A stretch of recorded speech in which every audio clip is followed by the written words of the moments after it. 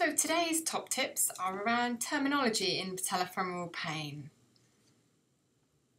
So this might seem a bit of a funny topic, but actually I think it's quite important to get the terminology right and I want to just also clear up a few uh, issues that can be confusing for patients.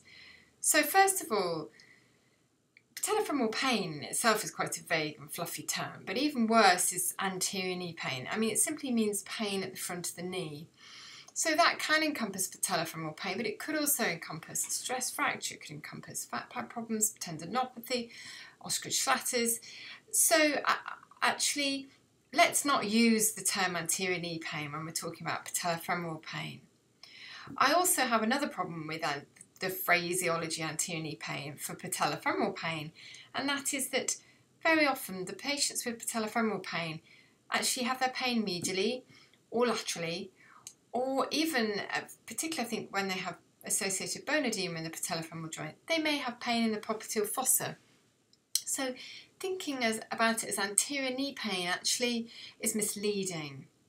I think you'll also find that it's not a term that's used very much in the uh, literature anymore. So I think let's try and move away from that vague, unhelpful term. So the correct uh, term, if you like, is patellofemoral pain. It was patellofemoral pain syndrome, but two years ago at the patellofemoral research retreat, this was uh, dropped. So it's just patellofemoral pain. Now, people also talk about chondromalacia patellae, and I want to just clear up some issues around that. So, strictly speaking, that is a descriptive term that describes the state of the retropatellar cartilage and it can be graded from 1 to 4 depending on the severity of fibrillation, fissuring, etc. Because it's a descriptive term, it can therefore only be accurately used following an MRI or an arthroscopy. Now, we do need to be careful about this term because we need to remember that cartilage is aneural. So here's an arthroscopy portal showing some chondromalacia patellae. But that cartilage you can see there has no nerve endings. That cartilage you can see there is not responsible for the pain.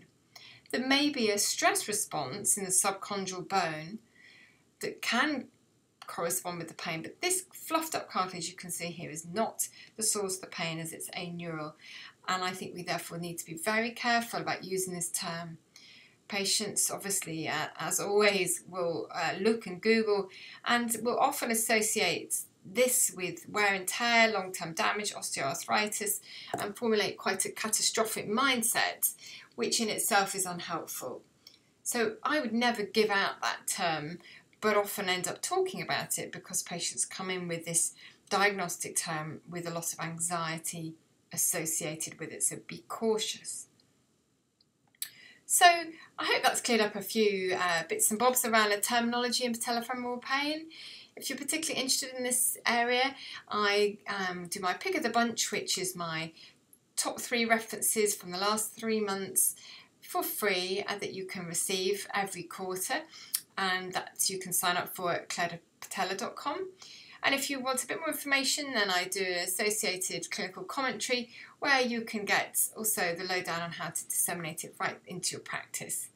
There are also some masterclasses on my website that may be of interest to you. Thanks for listening, and I'll be back soon with another three minute top tip.